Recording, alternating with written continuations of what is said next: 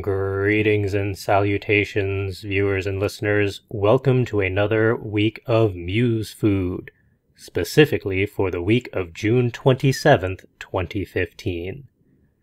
We come to you this week with a series of creative prompts to get your Muse kick-started and give you all sorts of shiny new ideas.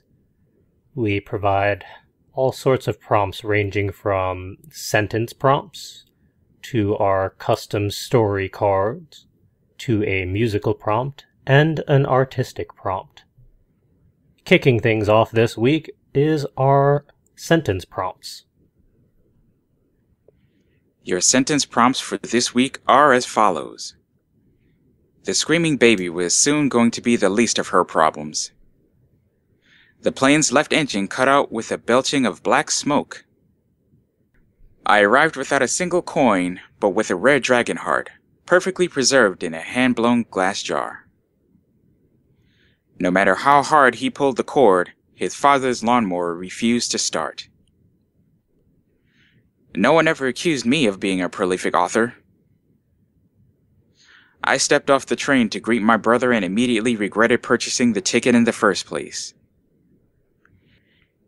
Every flame on every candle blew out one by one with a hiss. Those are your sentence prompts for this week.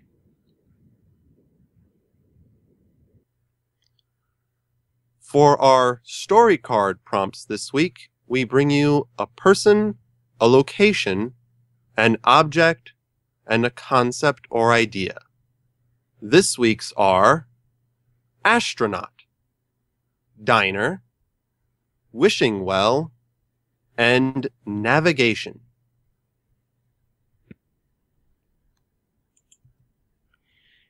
Your musical prompt for this week is half note E, whole note A, quarter note D, half note A, half note B, quarter note E.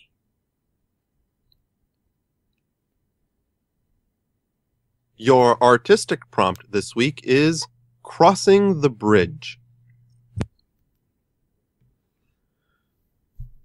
Those are your creative prompts for the week of June 27th, 2015. Make of them what you will. As always, if you happen to create anything based off of these prompts, we would love to see it. You can send us a copy or the URL where we can check it out via email our email address is wordninja at fcwriters.com. And with that, go forth and go do something creative.